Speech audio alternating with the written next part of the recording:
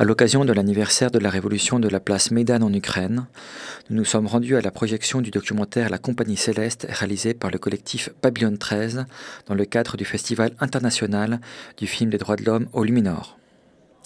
Ce film adopte le point de vue des manifestants lors des dernières journées sanglantes de confrontation.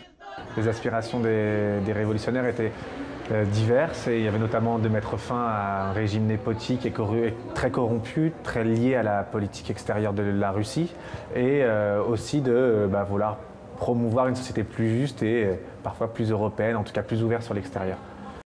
L'Ukraine se trouve au centre de l'Europe géographiquement. Donc c'est vraiment un pays qui, qui est entre la Russie et tout le reste de l'Union européenne. C'est avant, on, parlait de l'Ukraine comme euh, d'une zone tampon entre, euh, entre l'Europe et la Russie.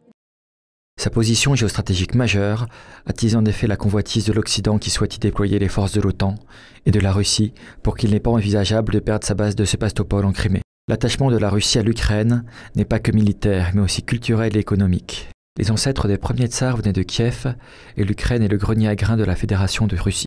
C'est là quelques-unes des raisons qui expliquent l'attitude expansionniste belliqueuse de Poutine. Il parle désormais de Nouvelle Russia, laissant craindre une invasion de tout le sud du pays jusqu'à Odessa, la ville de Mariupol risquant d'être sa prochaine cible. Euh, l'intérêt de l'Europe euh, de soutenir l'Ukraine est essentiel parce que euh, le, pouvoir de Poutine, Poutine lui-même ne s'attaque pas seulement à l'Ukraine, il s'attaque à l'Europe.